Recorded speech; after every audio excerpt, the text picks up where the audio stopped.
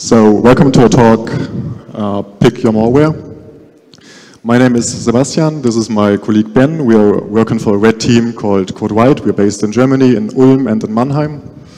And uh, our part in the red team is evasion and offensive tooling, and this is what we're going to talk to you about today. Um, we'll be talking to you about um, concepts for fileless malware.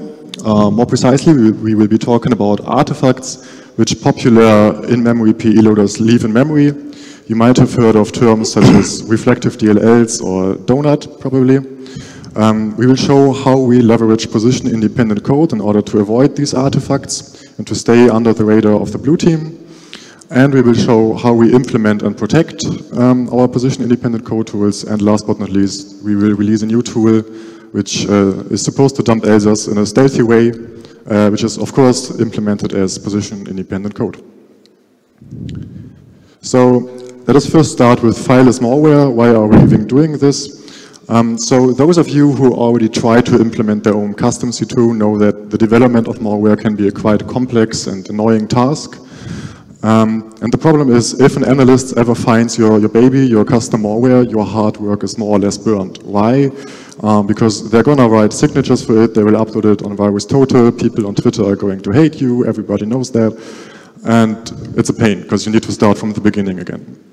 Um, this is why sophisticated malware nowadays has a so-called plug-and-play concept for most of its capabilities. What that means is that malware usually consists of a main module, which is quite small, it's like a small core, and capabilities are then loaded on the fly. So depending on the situation in which an operator is in, the operator has the chance to load additional libraries or additional code on the fly, depending on what the operator needs to do right now. This has the great advantage that if one of your modules is flagged, um, it's quite like it's never your whole malware project that is flagged. It's, it's, it's just a small part of your project which is, which is flagged. Which, so that means that you only need to re-implement one tiny thing of your malware, but never the whole project at all. This is why you make use of the fileless, uh, of the uh, plug-and-play concept. So here we have a small core, and typical extensions for malware would be uh, things such as a keylogger, a SOX proxy, a sniffer, or whatever the operator needs. And this can be loaded dynamically on the fly. Um, when I was a kid, so very back in the days, this problem was implemented like this. So back in the days, an extension was dropped as a DLL on disk and then loaded from disk, um, depending on what the operator wants to do. And there are two big problems with it. The first big problem is that if an antivirus is good with something, then it is dealing with stuff that is on disk. So that means that as soon as you touch your, your as soon as your extension touches disk, it will be uploaded to automatic sandboxes and uh, it will be known to antivirus vendors. And the second problem, those of you who are uh, red team operators know that files which you leave on the file system will definitely be forgotten on the file system at some point because your brain has holes, right? That's just the way it works. And this is why malware authors started looking for ways to load extensions without ever touching the disk, and this is how this whole concept of fileless malware was born. There's also another great advantage of this, and this is that for antivirus it's really, really difficult to monitor in-memory operations. It is quite prone to false positives and also really resource intense. Um, to give you an example, DRM uses quite similar concepts for legitimate use, meaning that an antivirus doesn't really know, um, just because it finds certain memory artifacts, is this actually malicious or not? So it's quite prone to false positives. And there are many concepts for fileless malware. You guys might have heard of concepts such as uh, reflective DLL or donut or the execution of dead binaries in memory. And they all have the drawbacks which enable analysts and security products to ruin your operation, to find you in memory, and also to, um, to stop your operation. Let us start with a reflective DLL. So what is a reflective DLL? A reflective DLL is basically like a regular DLL which has, a, which has a very special export. It's called the reflective loader. And the reflective loader basically implements a PE loader. Um, the PE loader, which is embedded in the reflective DLL, loads the DLL in which itself it is embedded, meaning that it's basically a self-loading DLL. Um, why is it possible to call the reflective loader? Uh, without any initialization, it's because the loader itself is fully position independent code. It doesn't require any, any initialization. The only drawback is that malware needs to be able to find the reflective loader in memory, so it requires additional code. It basically looks like this. So on the left hand, you have your malware, which implements a special stub, load library R, which is given a blob of memory. And uh, the load library R is going to find the reflective loader in memory. And the reflective loader then does what a PE loader is supposed to do, right? So it's going to find the PE header in memory. Um, it's going to uh, pass the PE header um, copy sections to new locations, fixes relocations, load additional libraries, and so on, and then finally calls the entry point. So it's a PE loader which is implemented in the reflective DLL itself.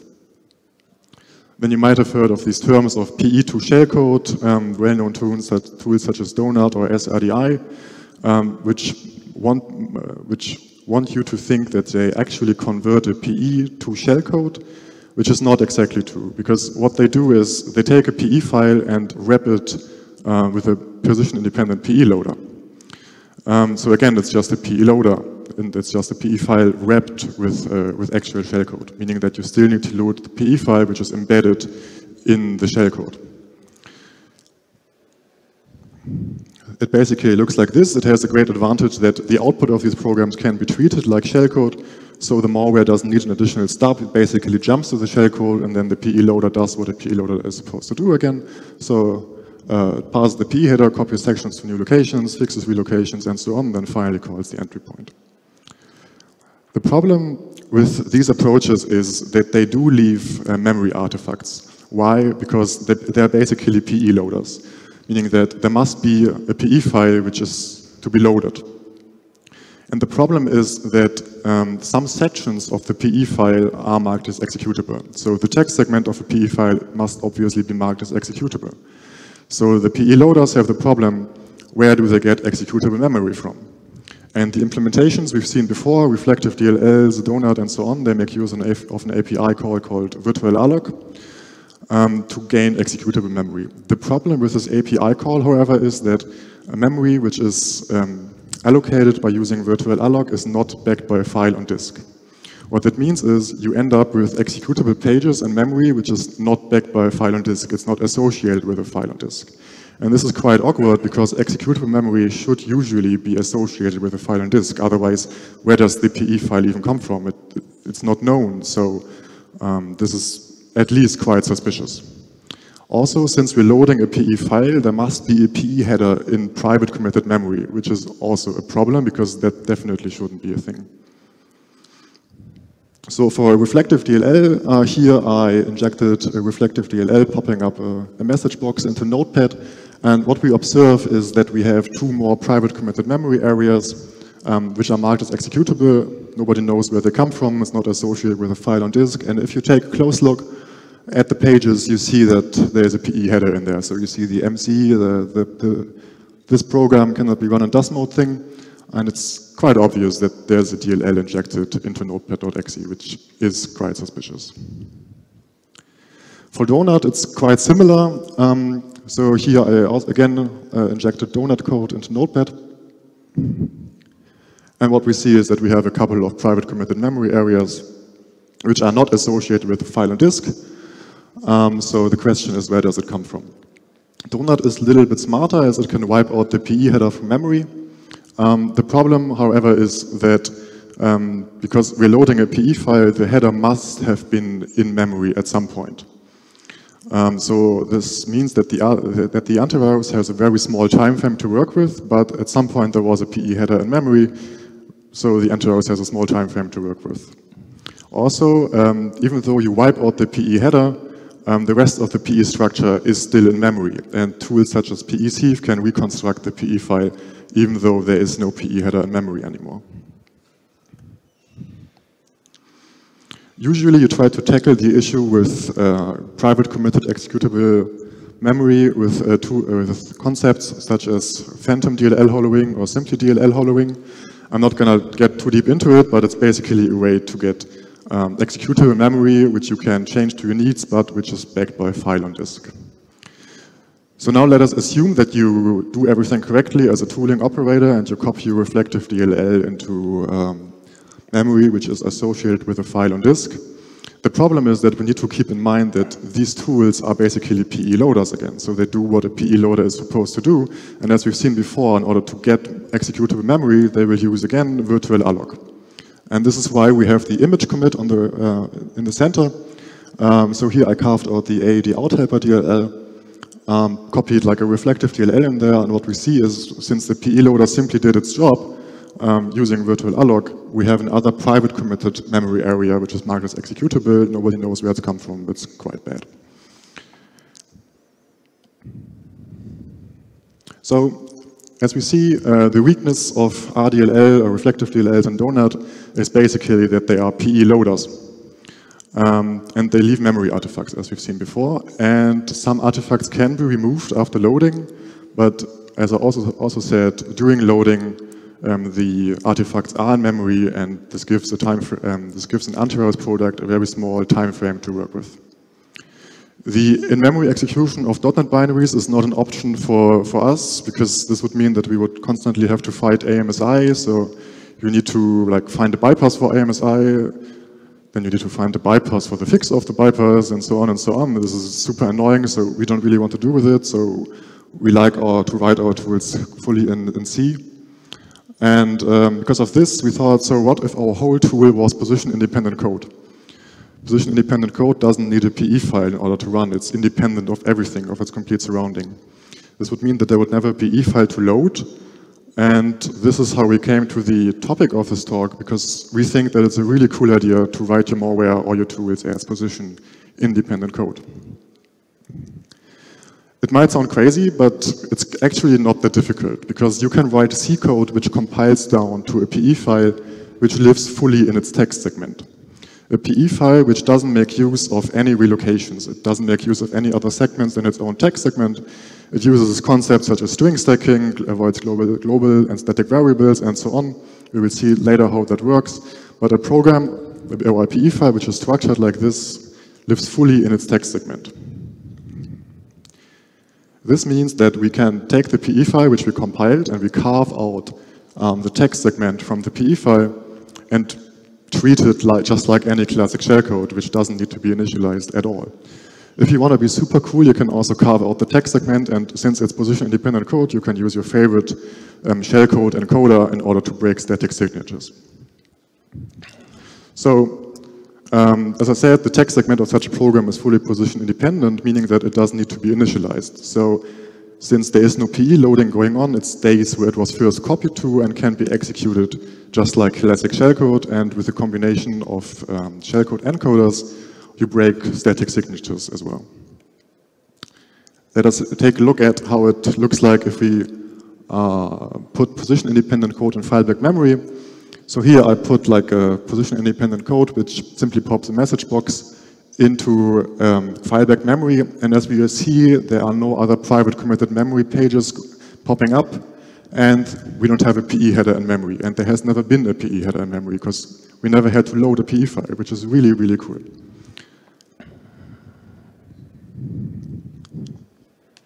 Also, but you need to keep in mind that nothing is fully undetectable.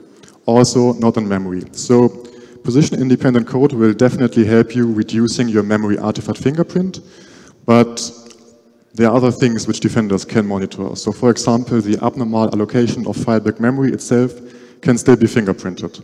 I highly recommend you to read the blog post by Forrest Orr if you want to dig deeper into it, um, but that's something that can still be done. It's quite prone to false, false positives, but it's possible.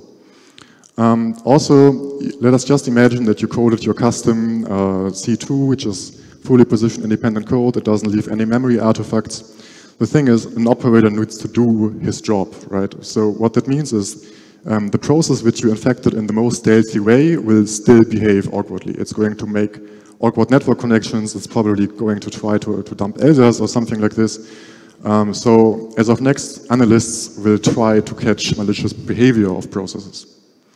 So let us now try to avoid certain suspicious sysmon events and implement the, the right tooling for this as position-independent code. So for example, let us try to find, try to write a position-independent Elsas dumper. For this, I need firstly, first need to explain how Elsas dumping usually works to then explain how it's done in a good way. So usually if you want to dump Elsas or any other process on Windows, you first need a handle to the target process. You usually use uh, API calls such as open process, you need to set a certain access mask, um, and then you obtain a handle to it, which can then be used for performing the actual dumping. The problem with this, however, is that as soon as you open any process on Windows, there is a sysmon event for it, I think it's event ID 10, uh, process access, and defenders will definitely monitor for this event. So if defenders see a process access event on Elsas with a certain uh, with this certain access mask going on, defenders will know what you're trying to do. But what is known to the community is that there are some benign processes which already have a handle to Elsas. I will call them handle holder. And the thing is, in order to dump Elsas, we only need to open the handle holder with a certain access mask allowing us to duplicate handles the handle holder already has. So by opening the handle holder with process uh, dub handle and process query information, we are able to steal the handle the handle holder has to Elsas and then reuse this handle in order to dump Elsas. Um, in this case, Sysmon will only throw a process access event on handle holder, but since we never touched Elsas, uh, there's no process access event on Elsas going on. Now you might be thinking, but how often is that the case that there is a um, a process which has a handle to Elsas? Um, the answer is it happens quite often actually on Windows Server, but uh, Elsas quite often has a handle to itself, which is really, really awkward. I don't really know why that is, but that's the way it is. For us, that means that in order to obtain a handle, we can also open Elsas with a process access mask like process duplicate handle in order to steal the handle from Elsas, which Elsas has to itself, and then use it for, for, for dumping Elsas. The next question is now you obtained a handle to Elsas. Uh, how do you perform the dumping? Usually you make use of mini-dump write dump, which is an export from dbg help. There are two problems with it. The first problem being that um, antivirus, of course, knows about the usage of, um, of, of, this function. And the second problem is that mini-dump write dump internally opens multiple new handles, which we are trying to avoid because this would mean that we have another process access event, access event on Elsas. So Roko demonstrated the usage of Reactor as code in order to dump Elsas, which is a cool idea because then we have the access to the source code, we can change it to our needs. Um, and it's not monitored by antivirus because we bring our own dumping code with us. Um, and uh, the, the, thing is, also mini dump write dump from Reactor as opens multiple new handles to the process it's meant to dump internally. But since we do have access to the source code, um, we are able to replace certain functions and comment out some lines which we don't really need, but which are um, which would open a new handle to Elsas. So if we change um, the reactor code a little bit, and we make use of other reactor functions such as enumerate loaded models W64, in combination with a cloned handle to Elsas, there is no access event on Sysmon ever appearing. And I wrote a small tool for it in order to automate all this process. Uh, I called it handle cuts, and uh, handle cuts just, just what I just said. So it either enumerates processes for suitable handles, or it takes a, a PID of a process from which it's supposed to clone the handle, and then uses the adapted version of Reactor as code in order to perform the dumping, in order to write an obfuscated dump of Elsas to disk, and uh, is fully position independent code, uh, since this topic since this uh, name of this talk is position independent code, it's implemented as position independent code, and it does all of this while using direct system calls. In Sysmon, the only thing that defenders can observe is that handle cuts opened handle holder, but there's no event letting you know that handle cuts ever touched Elsas. Why? Because it never touched Elsas. So back to the actual topic. Um, since this tool is implemented as position independent code, I'm fully fine with all of you guys uploading it to VirusTotal. Because, as I said, it's position-independent code. You can always uh, encode it with your favorite shellcode encoder and then reuse it or drop it to disk. It doesn't really matter to us. So in the screenshot below, you see um, the same version of handle cuts uh, compiled with Shikata Ganai, a very famous shellcode encoder. And as you see, the deep hash of, um, of handle cuts is every time completely different. It looks like there are four different uh, tools but they're actually the same tool which are all performing the same quite complex task. If you want to use it, it's quite easy to use. It comes with a header file uh, for the entry point. You simply need to put it in executable memory, cast it, cast the pointer to the shellcode according to the type definition. The first parameter uh, specifies if you only want to perform uh, reconnaissance without actual dumping. Second parameter where you want to write the obfuscated dump to. Um, then from where to dump the, um, from where to clone the handle, and then a pointer um, a, a, car pointer to which handlecards writes its internal state. You can find the code and the compiled position-independent code together with a sample loader on our GitHub. And uh, I also um, open source some other position-independent code examples, which you can find on my GitHub. And now I'll hand over to Ben, who is going to explain to you how to build and protect position-independent code. Cool. Thank you really much. So, um, so far we heard about uh, um, characteristics and benefits of position-independent code. Now I want to introduce to you some uh, concepts um, for automating the creation and protection of your code. Um, like already mentioned, we like to write C source code and compile it to position-independent code. This process is very well described in various papers and blog posts, um, all of them show you how you can solve problems you encounter while writing position-independent code. I just want to show you um, how you can make your life a little bit easier um, by scripting certain parts of this development process. Let's start with a quick recap of the main differences between a portable executable file and position-independent code. So in a P file you have a file structure, which um, divides your file into various sections which have uh, different memory characteristics. And, um, and these are used to um, actually separate the functionality of your code from static data. In position-independent code, everything is in the same thing and in the same, let's call it section, you have one binary blob. Um, in the P file, you have relocations, which will be applied through the loading process of the operating system. In position-independent code, you have no relocations, meaning everything you want to address, you have to address manually um, um, relatively to your uh, current instruction pointer. Also, um, obviously, in a PE file, you can make, of, uh, make use of external functions, and they will um, resolved, uh, again, through the loading process of the operating system. In position-independent code, if you want to make use of external functions, uh, you have to resolve them manually which brings us straight to the following three problems. First one, external functions can only be used after they are manually resolved. Um, second one is you cannot write strings as you're used to. You have to write them as character arrays. Um, this is because they have to be put on the stack at runtime. Um, for this reason, this technique is also called stack strings. And we have no global data, meaning everything we want to make use of in more than one function uh, we have to pass around from one function to another. This is especially a problem for our imports. Um, imagine you have a bunch of Win API calls um, you want to use in more than one function. And this would require either passing all of them as uh, pointers or parameters um, to all your function, or you have to uh, recreate them in every one of your functions. So what I usually do when I want to use of an external function, I go to MSDN, uh, look up there the function definition where I can also find the name of the library where this function is located in, and then I have to create a function pointer from this definition. Um, since I don't want to do this manually every time, I um, just use a little script which takes the URL from MSDN as an input parameter and creates this function pointer for me. This is not all. The script also creates a kind of code pattern um, which you can see here. And the first step, the script puts the name of the function as a comment behind an empty character array.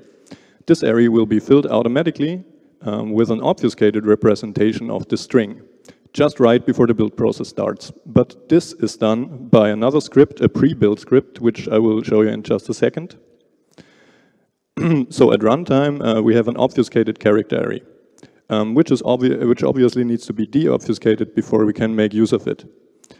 Um, after the deobfuscation, we can look up the function name and the corresponding DLL, and uh, with some cheap copy of get proc address, or can also use the real one if it's available.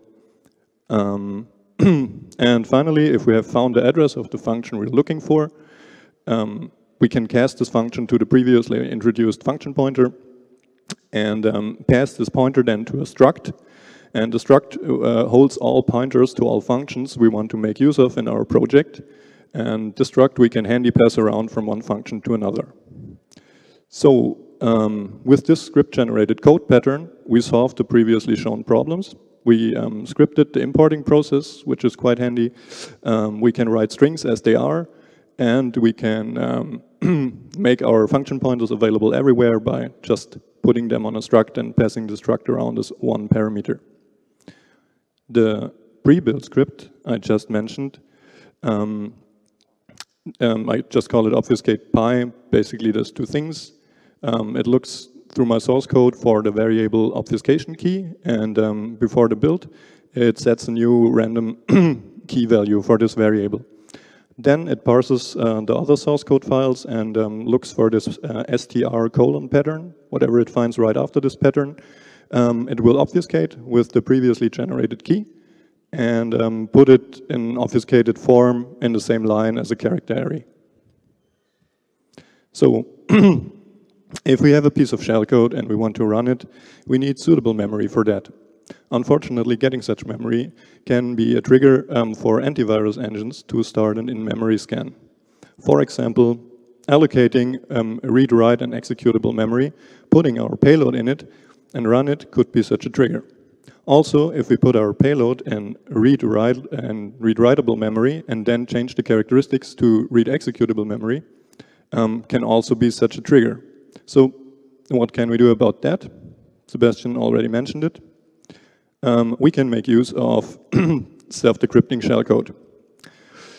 Um, self-decrypting shellcode is placed in RWX memory, and um, when an in-memory scan is then triggered, the, the, decryption process hopefully takes long enough till the scan is over. So it hides our payload um, till the scan, uh, while the scan is proceeding. Um, when the payload is finally executed with no new allocations, this is important here, um, so no, no other trigger point for another in-memory scan would be um, yeah, available here. Self-decrypting shellcode can easily be created from a C template in Visual Studio and uh, in conjunction with some pre or post-build scripts, um, in our case Python. Um, the C template holds the decryption functionality but not the keys. If we build this If we build this template right before the build process starts, the pre-built script gets executed. Um, it encrypts the payload iteratively uh, and writes the keys to our template. Um, we do this multiple times, so we have control over how long the decryption process will take. Um, we can also make this a bit more interesting if we uh, enrich our template here with functions for situational awareness. Um, for example, for sandbox evasion and environmental encryption. Of course, this requires some knowledge uh, about the target where we want to run our um, self-decrypting shellcode. For environmental encryption, for example, um, we need the username um, of the uh, user we're expecting to run, um, in which context we're expecting to run. Um, this has also been set as a key into our template. Besides writing the, the, um, the, keys to our template, the pre-built script um, sets preprocessor definitions to enable or disable um, specific parts of our source code.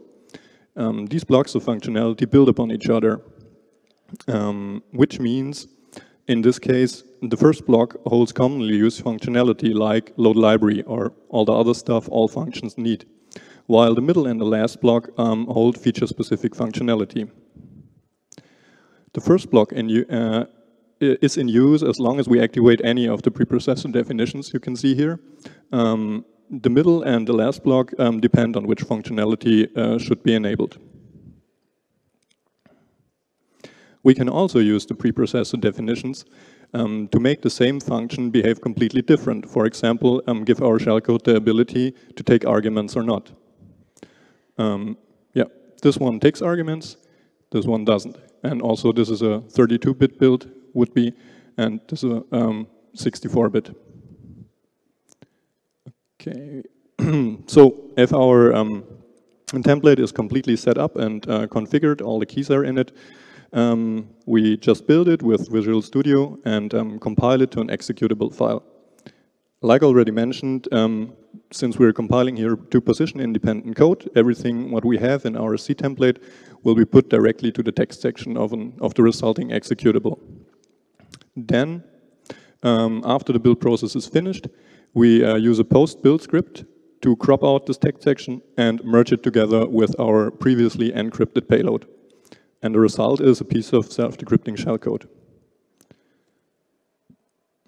So if we look at this thing here again, um, we need, like I already said, RWX memory to run it.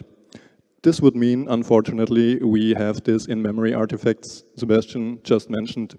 Um, yeah, but the question here is, is this really a problem? Like you already said, for um, real shellcode, um, or in our humble opinion, the answer, the short answer to this question is no, but the long answer is depends. You must know what you're doing. When you're using here real shellcode and not just rep PE, which um, will leave some PE traces in memory, um, the shellcode is really hard to identify as malicious for itself. There's a really good series of uh, blog posts for this topic from um, Forrest Orr, um, which I can just highly recommend, where he uh, explains what you can do with shellcode and memory and what you should better avoid if you do not want to get detected. Um, also, there are 1,000 ways to get suitable memory. The easiest ones are probably just using the Win API calls, followed by loading some PE, um, which already has RWX sections, and utilizing these sections um, for your code. Or you um, could apply some hollowing technique, like explained by Forrest Orr, or uh, you can use some other um, nice trick you have just recently seen on InfoSec Twitter.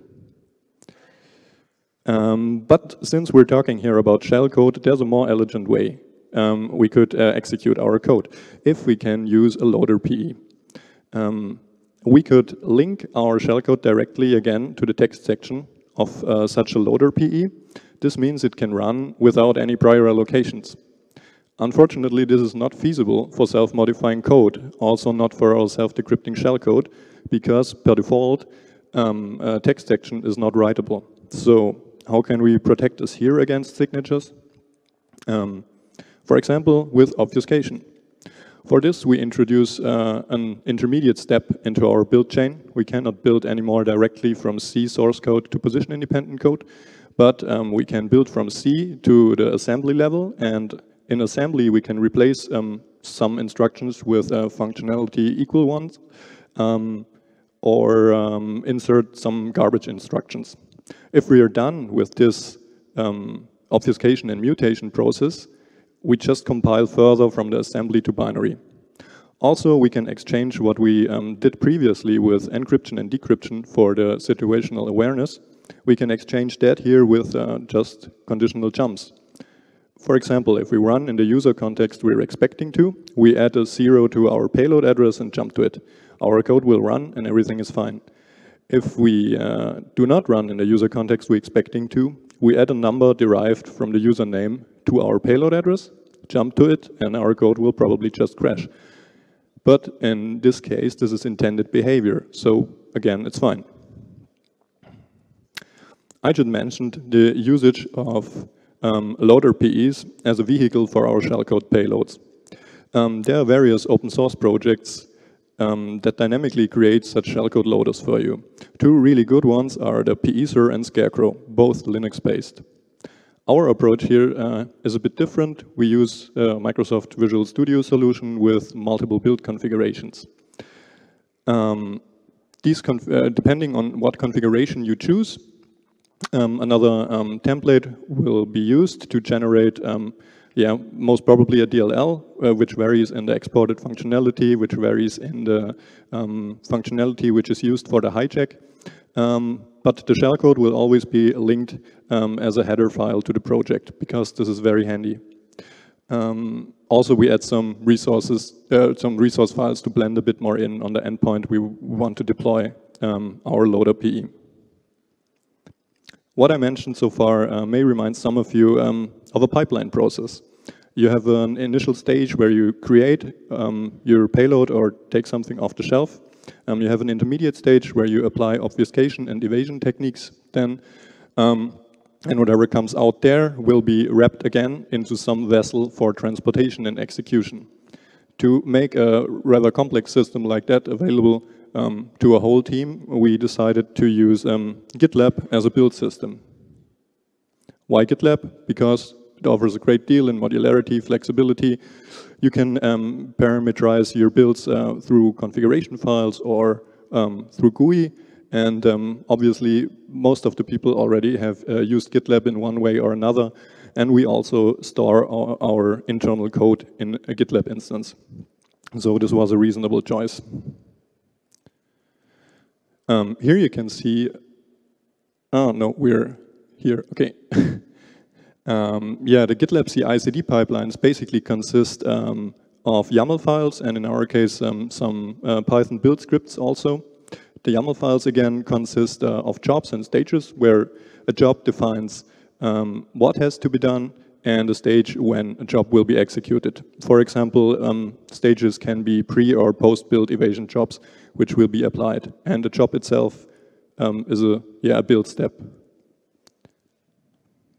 So here you can see um, a part of a configuration um, of such a configuration YAML file for handle cuts, where the where the first block um, specifies the configuration of the actual tool, um, and the last line of the first block specifies which um, post-build evasion modules will be applied to this tool when it is built. Um, the middle block then specifies the configuration for the first evasion module. So for the crypto module, we um, just define here that we just run uh, want to run in the uh, context of the user Kevin Smith. Um, we apply sandbox evasion technique number one, and we encrypt and decrypt with 100 iterations. The last block specifies um, that uh, loader PE, which shall be generated, um, shall be an executable file and it shall have a console. Um, obviously, first thing we need to do now is to parse these variables to get the configuration. Um, if we have those variables, depending on what evasion repositories are specified here, we clone them into our current payload repository. And um, now parse the configuration of these modules, which we have now also in our current payload repository. Um, if there are more um, dependencies, we clone them also to the current repository.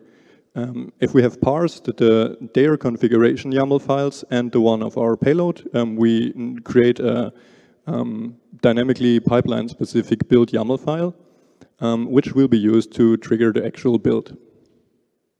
If we put this uh, into a build diagram, it would look something like this, where you have the um, first three stages I just uh, introduced to you on top, and uh, on the left, uh, no, on the right here, you have uh, the build of your actual tool, the um, uh, handle cuts tool, and then it will be wrapped into self-decrypting shellcode, and after that it will be, the result will be wrapped into a loader PE.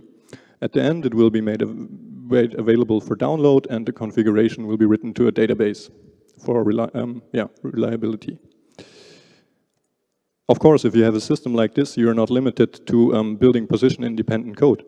If you um, introduce another post-build module, um, for example, a position-independent assembly loader, you can also build assemblies and wrap them with something like Donut to shellcode, then wrap the shellcode again into self-decrypting shellcode to a PE file, and to introduce another stage, um, add some version info to your PE, an icon, um, a spoofed certificate, or maybe a real one.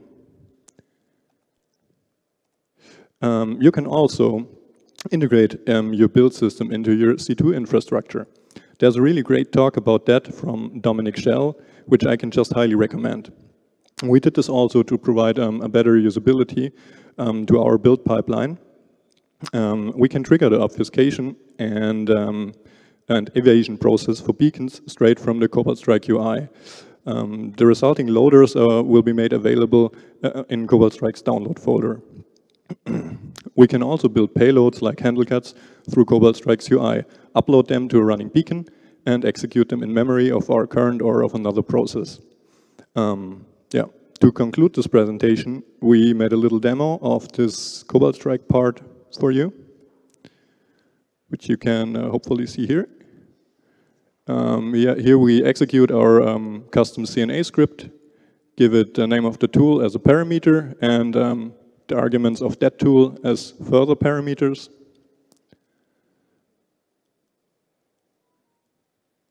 So this actually will run handle cuts. Um, then the configuration is parsed, the um, evasion modules are cloned into the payload repository. Um, now the actual build process has started. This will take a bit.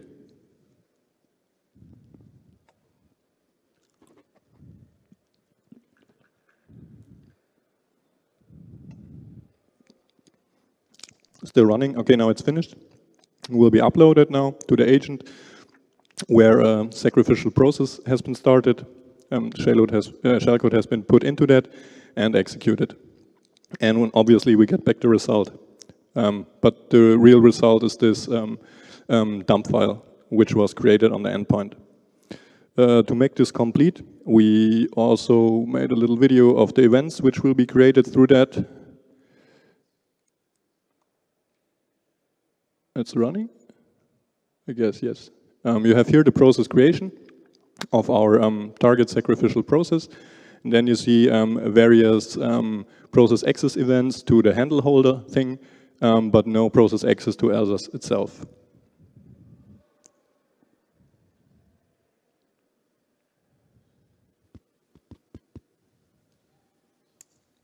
Yeah, more process access. And process terminated. Good. Um, yeah, that's it from us for today, I think. Um, yeah, before we um, finish the presentation, I just want to um, introduce to you two of our colleagues which uh, did really much for the projects I've shown to you. These are the upper two Twitter handles, and the lower two are Sebastian and mine. So, thank you. Do you have any questions?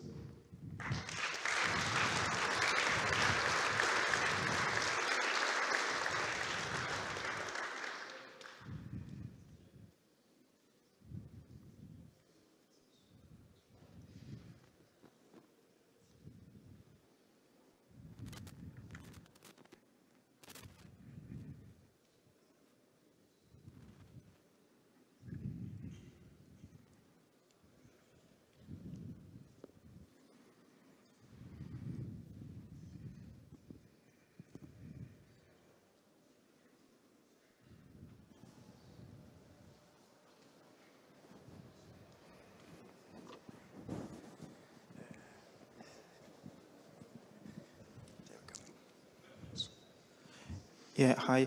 Um, I'm a bit out of touch with the best practices on operating systems, but in the software industry, it's pretty clear that self-modifying code is uh, is uh, really really bad. As in, we don't let programmers do that anymore. Um, so I'm confused. Why do we have operating systems that allow read, write, execute pages at all? Do we have a legitimate use case for that?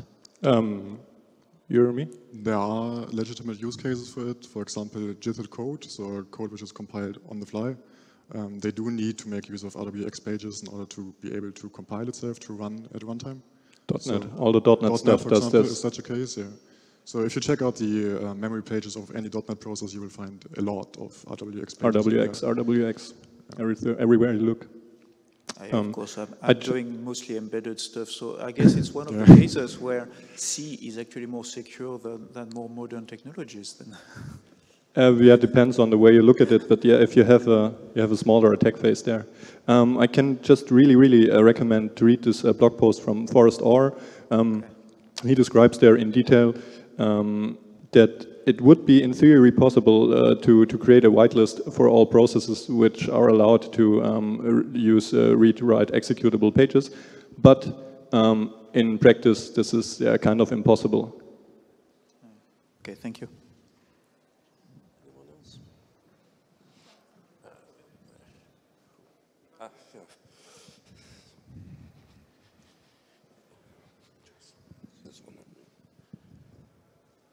Um, so for the encoding process, it it doesn't really matter what kind of encoder you use. So you don't have to use Shikata You can also use like Yeah. a scrambler or, as you mentioned before, like Yeah. uh, Anything. Yep. it's just the time you, th We- that the scan process stops, and then you can do whatever you Yeah, want. as long as you keep the scanning engine busy for long enough, you'll be good. It doesn't So really For, for jittering, scrambling, everything works. Just, Everything's that's correct. We just use our own one because we want to pack more functionality into it, and Shikata Ganai can take no parameters, and so to the tooling. Yeah, thank you for the talk. Thank you so much. Yeah.